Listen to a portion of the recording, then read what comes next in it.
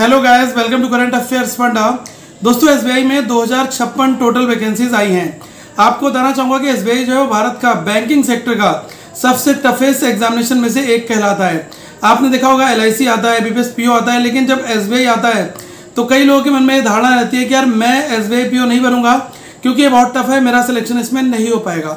मैं आपको इस पूरे एग्जामिनेशन का एक ओवरव्यू देना चाहूँगा कि इस पेपर में कितनी फाइट है। और अगर आप एक सही स्ट्रेटजी बनाकर इस पेपर के लास्ट तक टिके रहते हैं तो आप दोस्तों इसको क्वालिफाई भी कर सकते हो और आपका फाइनल सिलेक्शन हो सकता है। पहले मैं आपको एक छोटी सी स्टोरी बताना चाहूँगा। मेरे दो स्टूडेंट ऐसे थे, जिनका आई क्लरिकल नहीं निकला।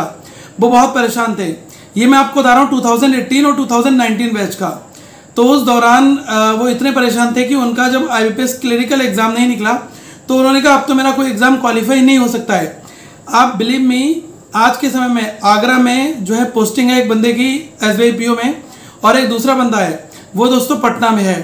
तो ये अल्टीमेटली ये है कि अगर आपसे क्लिनिकल क्वालिफाई नहीं हो रहा है तो क्या पीओ क्वालिफाई हो पाएगा? ये बिल्कुल डिफरेंट है। मुद्दा यहाँ पर है कि कितनी ज़्यादा फाइट आप कर सकते हो।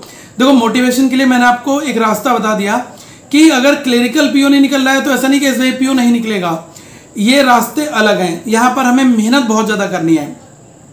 एक चीज़ मन में आती होगी कि एस पीओ क्यों इतना ज़्यादा टफ होता है? देखो यार एस का प्रिलिम्स ऑलमोस्ट इजी रहता है। प्रिलिम्स में आप ऐसा मान कर चलो कि पेपर में आप बहुत बढ़िया कर लोगे और आप इजिली क्वालिफाई कर जाओगे। हाई फाई कट ऑफ़ भी जाती है, क्योंकि पेपर का लेवल आसान होता है। जो असली फाइट है ना, वो है आपकी मेंस एग्जामिनेशन के लिए, ठीक है? अब मेंस में ऐसा क्या है? देखो डेटा इंटरप्रिटेशन का पूरा पेपर होता है। वहाँ पर पजल और सेटिंग अरेंजमेंट का पेपर होता है। तो पूरे पेपर में दोस्तों ऐसे क्वेश्चन आते हैं कि आप एक सेट भी नहीं सॉल्व कर पाते हो। मतलब पेपर इतना ज़्यादा डेप्थ में आता है, पूरी पेपर की जो प्रोसेसिंग है वो बहुत ज़्यादा कैलकुलेटिव होती है। तो ये पूरी जो रेस है, वो है धीरे धीरे स्टार्ट करने की और ज़्यादातर मेंस लेवल के क्वेश्चंस पर जितनी जल्दी आप आ जाओगे, उतनी जल्दी आप एस पीओ की रेस में बने रहोगे। देखो, मैं आपको एक्चुअल व्यू बता रहा हूँ। मैं ये नहीं कहूँगा कि आप इजी इजी बनाते रहो और आपका एस पीओ क्वालिफाई हो जाएगा बिल्कुल अलग सिचुएशन है। एस बी में जो सबसे ज़्यादा दम होती है वो होती है डेटा इंटरप्रिटेशन में पजल्स डी में। आप अगर स्ट्रेटजी अपनी बना रहे हो तो प्रिलिम्स ऑलमोस्ट अगर आप आईबीपीएस क्लर्क लेवल की तैयारी कर रहे हो तब भी आप प्रिलिम्स को क्वालिफाई कर ले जाओगे। प्रिलिम्स मैटर बिल्कुल भी नहीं करता यहाँ पर। और अच्छे खासे नंबर 75, 78 ऐसे मार्क्स आप प्रिलिम्स में ला सकते हो। मुद्दा आएगा हमारा मेंस के लिए। देखो मेंस में आपका स्क्रीनिंग भी है। आप देख सकते हो कि आपका जीडीपीआई है आपका इंटरव्यू है। आपका जो है ऐसे राइटिंग लेटर राइटिंग डिस्क्रिप्टिव भी होता है तो पेपर में काफ़ी कुछ है। ये पूरा का पूरा मैटर आपका मेंस का रहता है। अब आप एक अच्छा सा गेम प्लान बनाओ कि आ, देखो मैं आपको थोड़ा सा एक व्यू बता रहा हूँ पेपर में जिस तरीके से मैंने अभी यहाँ पर देखा कि जो मेंस है आपका यहाँ पर लिखा है मेंस दिसंबर 2021 में होगा सेकेंड वीक में एडमिट कार्ड स्टार्ट होंगे। तो आप देख लो अभी आपका अक्टूबर स्टार्ट हो रहा है। अक्टूबर नवंबर दिसंबर नियर अबाउट मेंस के लिए आपके पास अप्रॉक्स ढाई महीने का टाइम है। अगर हम डेज़ में देखें तो लगभग सेवेंटी डेज़ के आसपास का time seventy two seventy five days का आपको मिलेगा। आप इस सेवेंटी फाइव डेज़ को इस तरीके से डिवाइड करो कि मैं स्टार्टिंग के लगभग ट्वेंटी डेज़ में प्रिलिम्स का सारा निपटा लूँगा।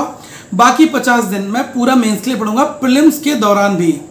प्रिलिम्स एग्ज़ाम होता रहेगा और मेरी मेंस की तैयारी में दो सब्जेक्ट पजल डीआई ये मेरे एज यूजल चलते रहेंगे। इनके लिए मैं मेंस मॉक टेस्ट का ही सहारा लूँगा।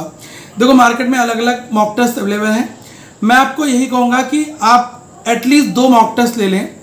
काफ़ी लोगों ने ऑलिव बोर्ड का ले रखा होगा, लेकिन मेरा रिकमेंडेशन ये भी होगा कि आप प्रैक्टिस मॉक का एक मॉक बनाकर देखो, आपको मेंस देखने को मिलेगा, काफ़ी अच्छा लेवल मैं आपको नीचे डिस्क्रिप्शन में एक फ्री टेस्ट का लिंक दे दूँगा एस रिलेटेड तो वहाँ से आप एस का जब मेन्स बनाओगे तो आपको खुद आइडिया लगेगा कि ये कैसा है। देखो, जिन लोगों ने लास्ट ईयर पेपर दिया था और जो एक दो अटैम्प्ट और दे चुके हैं, उनके चांसेस ज़्यादा होते हैं पेपर को क्वालिफाई करने के।